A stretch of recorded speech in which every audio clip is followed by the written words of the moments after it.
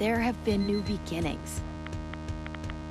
We found new ways to find new ideas and new solutions to age-old problems.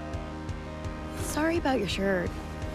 We dreamt of things, never too old for a treehouse. We trained for things. All right, let's go, go, go. And learned about this thing. We found new paths.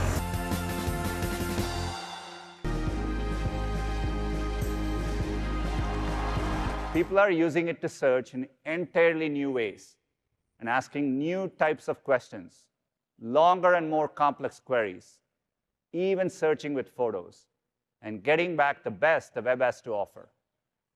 We've been testing this experience outside of labs, and we are encouraged to see not only an increase in search usage, but also an increase in user satisfaction.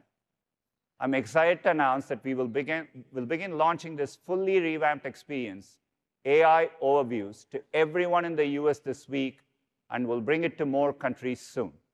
As with any emerging technology, there are still risks and new questions that will arise as AI advances and its uses evolve.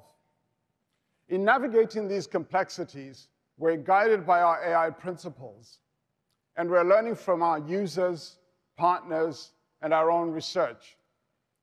To us, building AI responsibly means both addressing the risks and maximizing the benefits for people and society.